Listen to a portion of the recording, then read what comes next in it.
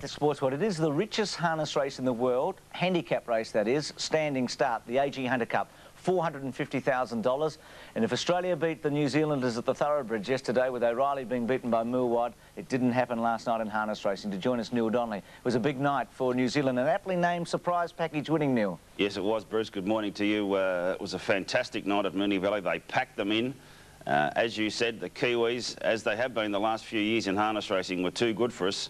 Boy, they love the two-mile stuff. Uh, we don't run too many two-mile races here at Moonee Valley, in fact, anywhere in Australia.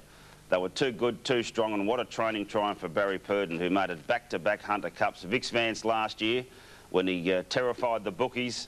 There was no uh, there was no bookie terrifying this year, but he certainly got the money and a remarkable drive also from Tony Herlihy. And the training performance, this horse hadn't run for six weeks, and yet he was able to get him fit, bring him from New Zealand, bring him here, and win uh, over two miles, uh, probably the toughest race in Australia and uh, hadn't had a run for six weeks. Yeah, Bruce, I saw him uh, race in New Zealand Cup Week, which was in November last year. And to be honest, he ran third in the Cup, but had every possible chance. It was disappointing. And Barry Purdon, uh, at that stage, I think he realised that the horse had leg problems, and they, they made extensive tests on the horse, discovered he had severe arthritis in both knees. Um, so Barry completely changed his training routine. He started swimming the horse extensively. That worked because he ran an unlucky third in the Auckland Cup on New Year's Day. Uh, raced a few days later on January the 3rd in a free-for-all, was unlucky again when he ran fifth to Brabham at Alexandra Park in Auckland.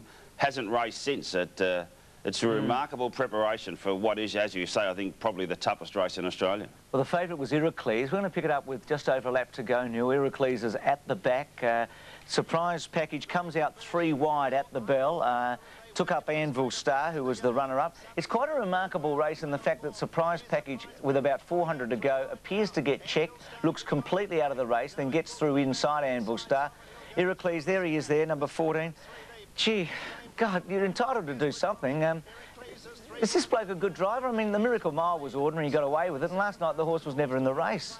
Yeah, I, I, th I think uh, he'll be criticised for his drive last night, and I think rightfully so too. Surprise package for those who haven't seen this before is the first of the three wide line. He's up running uh, third outside the leaders. Um, yeah, I was very surprised that Iroquois is still not being put in the race. I mean, he ran unbelievable sectionals last night. He ran his last half 56-3, 3, 4 and 5 wide.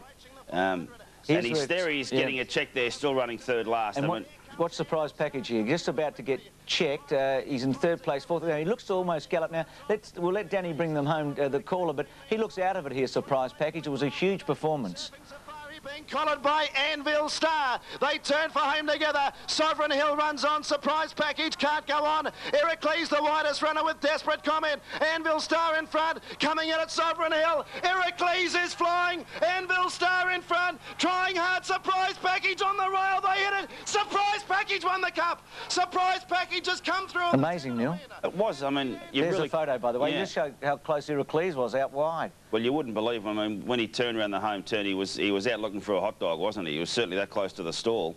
Um, and you can't blame Dan Malicki for saying surprise package can't go on because three or four horses had passed him. He looked gone on a spent force.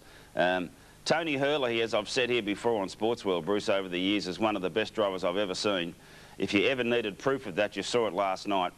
Uh, I think the unlucky runner of the race was Desperate Comment, the Victoria Cup winner.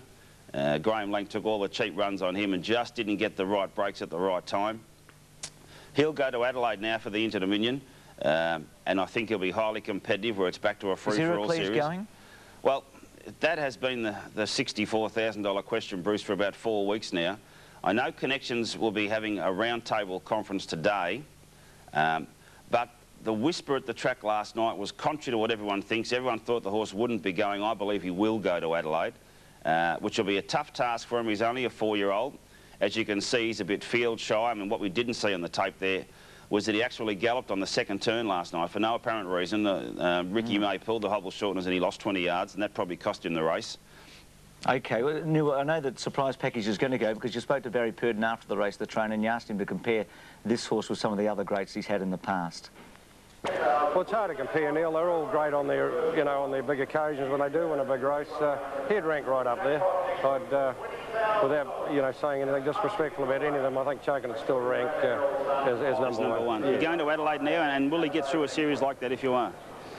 That's the big question, Neil. We are going because uh, there's a pool right by the track there where we're staying, so we're going to uh, box on at the stage. It's pretty hard not to go now, Neil. Yeah, it is. So uh, we'll, we'll give it a go anyway. Barry, congratulations. Thanks very much, Neil. Obviously delighted, Neil. So uh, he's off. Heracles looks like you think he'll be off, and a desperate comment will be there. It'll be a terrific series, mate, and we'll be keeping up to date with uh, you and Adam throughout that series in Adelaide. Thanks, Bruce. Pleased to be with you. Good on you, Neil Donnelly there after the terrific race, the uh, $450,000 Hunter Cup last night from Melbourne. A break back with more, including uh, a terrific interview with Greg Norman, Trevor Hendy and Kieran Perkins. I'm not one to take my troubles off the golf course, but you walk into a hotel room and you, your, your wife looks at you and you, she says, oh, you had a bad day?